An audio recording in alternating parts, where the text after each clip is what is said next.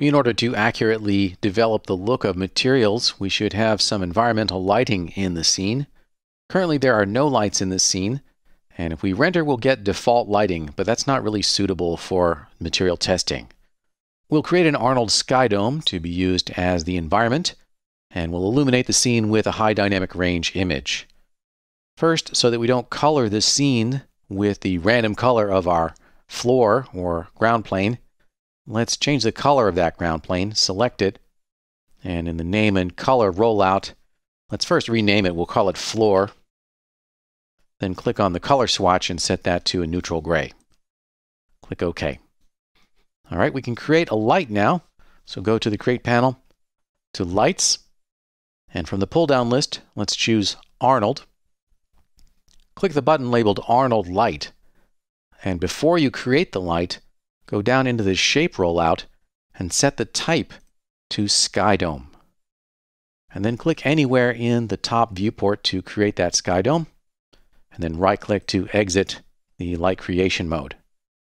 So let's see what we have so far. Right-click in the physical camera view to give it focus. Go to the menus and choose Arnold, Arnold Render View, and then click the red triangle to initiate an interactive production rendering. We can see that it's so overexposed that we just get a pure white silhouette. Let's adjust the intensity of the sky dome.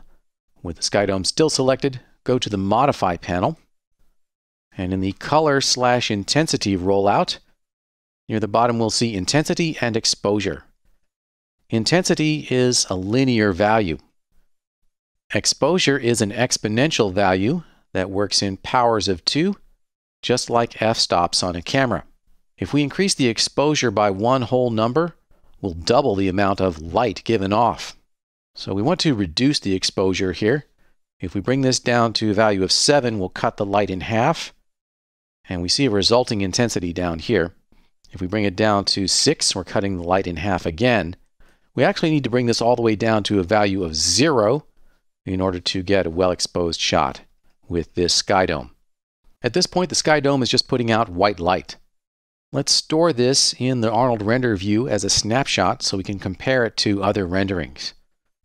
To prevent the Arnold render view from updating, we can first click on the button here, which is to hold scene updates.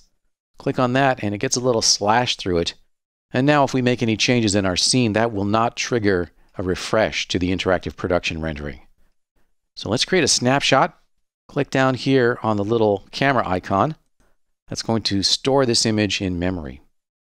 One more thing about the Arnold render view.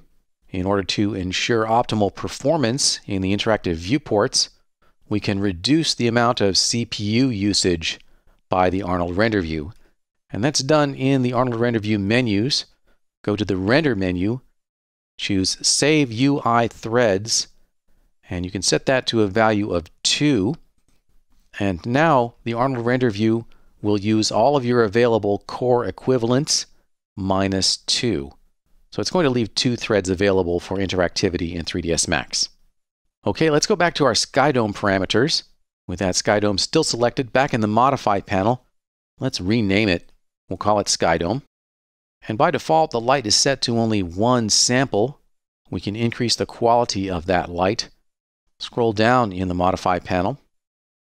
And in the rendering rollout, set the number of samples to 3.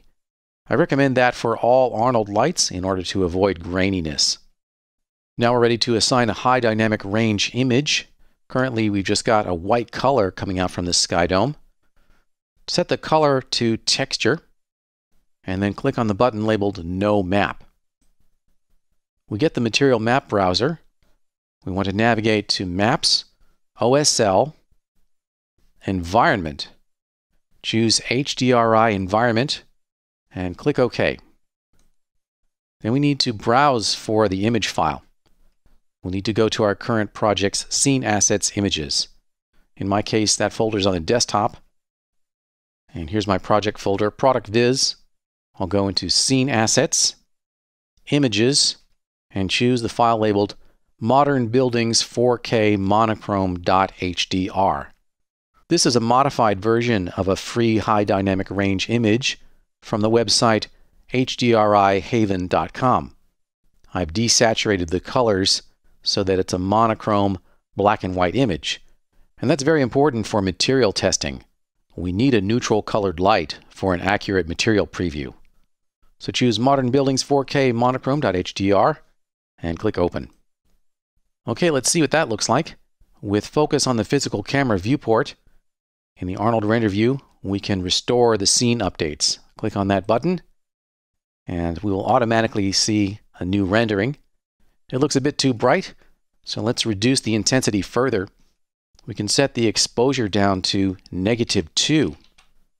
And now we've got approximately the same exposure that we had with a pure white color. Once that's finished, we can store another snapshot. Click to create a new snapshot, and then we can compare these. Snapshot 1 shows the sky dome with pure white light, and snapshot 2 is the sky dome with an HDRI panorama. To go back to a live interactive production rendering, we can click on the button down here in the lower right that now looks like a little eye. If we click in the perspective view, we will automatically see the rendering from that camera viewport because viewport camera is chosen as the current camera up here.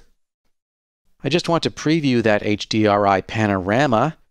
So let's back out in the perspective view, dolly back with Control Alt and middle mouse, and select the sky dome light.